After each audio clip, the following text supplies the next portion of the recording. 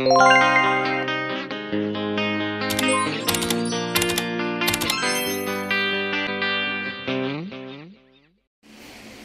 guys! Good morning, good morning! Welcome back to my channel for today's video.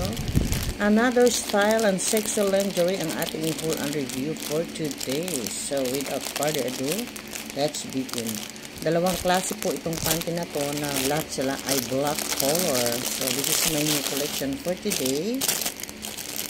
So, ito po yung ating uh, panty for today. Ayan. Ito nga ano na to, tatlo. Ano ito, seamless. Maganda po ang pagkaano niya. Parang ang size nito, XL. Tingnan mo, XL siya. Pero, hindi naman siya ka-XL. XL ang kanyang size. Pero ito, medium size ito. Tingnan natin kung medium size ito. Ito nabili ko to sa Robinson naman. Is uh, 199 pesos. Itong ano na to. Ayan. Barbizon. Large, ah, large ito. So, large ito. Large, then XL. Ayan lang po siya. So, large nila maliit lang din. So, tingnan natin yung ating, ito, itong ating uh, tinatawag na seamless na lingerie panty. Lahat sila ay black color. Maganda po ang pagkaano nito. Pagka garter, kaya lang po, ito nakadikit lang. Yan, may lock lang siya ng ganyan, oh, sa gilid. Pero ito lahat nakadikit. Pero dito sa end to end niya may lock pero para siya ay talagang ano matibay pero di ko alam kung ito itatag may, may itatagal ito ay nakalagay dito ay ang fabric niya ay 80%, 86% nylon and 14% expandex and XL po ang kanyang size so ito hindi pwede siyang i-washing ito ay hand wash lamang so dito po sa ano leg hole As in gupit lang, wala po siyang tahi. Ayan o, oh, nakita nyo, wala siyang tahi. Nice po yung ano niya. Yan. Ganon din dito. Sa gilid niya, wala rin, ano lang siya, parang din, dikit lang ba. Pero maganda ang pagka-stretch niya, oh. In fairness. Malambot. Soft ang kanyang pagka-stretch niya. Then, yung kanyang uh, crotch naman, ay meron siyang, ayan oh, may lining siya na dinikit lang din. So, hindi natin alam kung tatagal ba ito kasi puro dikit lang pare dito lang sa gilid siyang may ayan o may lock end to end uh, point to point lang ayan end tapos dito hindi naman dugtungan so ano to diretso lang ng ganyan so siguro Natatagal din naman siguro ng konti, kaya lang yan, ganyan. Pagka, kina mo, pag binanat mo ng ganyan, ayan o, ganyan ang resulta o. Nag, nagba, parang nagka-curve. Pagka ginanyan mo siya o. So, pero maganda po ito. Mal malamig ito sa balat. Parang, para siyang yung sa baking suit ang dating. Ayan. Mag, ang stretchable niya, very firm, kaya okay siya. Tatlo po ito. Ano lang kasi ito, may nagregalo sa atin may nagbigay. So, ayan. Ito, bigay ito. Sa akin, tatlo. So, sino bang tumangki? Sino bang ayaw? At binigyan ka na lang, di ba? Ganon din ito. Isa lang sila. Ayan. At yun din. Ito.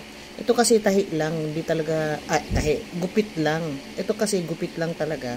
So, kapag ginanya mo, in-stretch mo niya, tapos ibalik mo sa dati na mo, nagka-curve na siya. Yan, yan ang magiging resulta nito. Pag walang tahi, magbabanat siya pag sinuot mo na yan matagal ayan ganyan ang mangyayari so ayan tatlo po siya pareho silang XL so ayan yan po ang ating tatlo and the next one is uh, nabili ko ito sa Robinson ayan meron naman siyang lace dito. Yan ang kanyang style. Black din.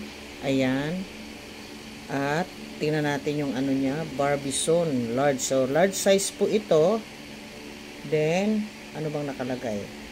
Basahin natin. Uh, do not bleach. Ah okay.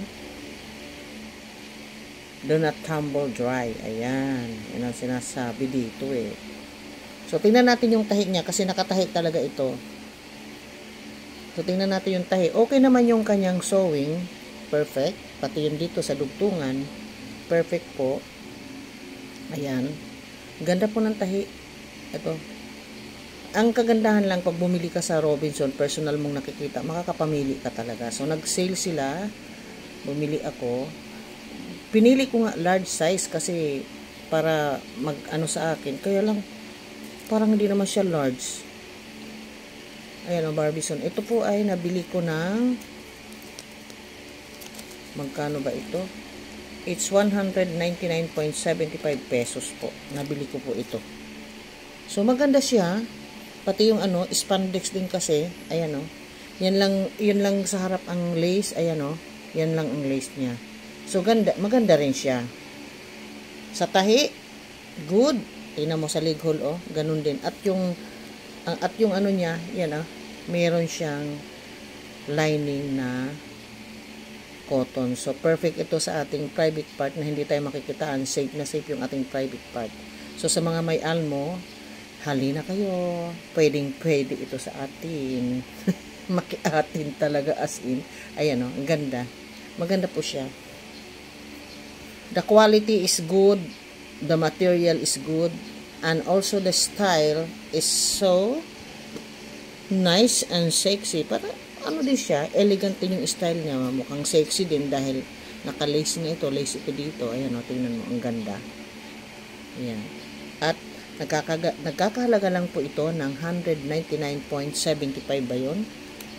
Ayan. Oh, tama. 199.79. Pag sa mall ka talaga, medyo may price talaga siya. So, okay na ito. Ayan oh. Tingnan mo yung ano. Tanggalin nga natin to Naiinis ako dito. Tanggalin natin. Ayan. Ayan po oh. Ito po yan. Ayan. So, that is for today for our sexy, elegant, bikini, seamless panty. Thank you for watching. Bye-bye!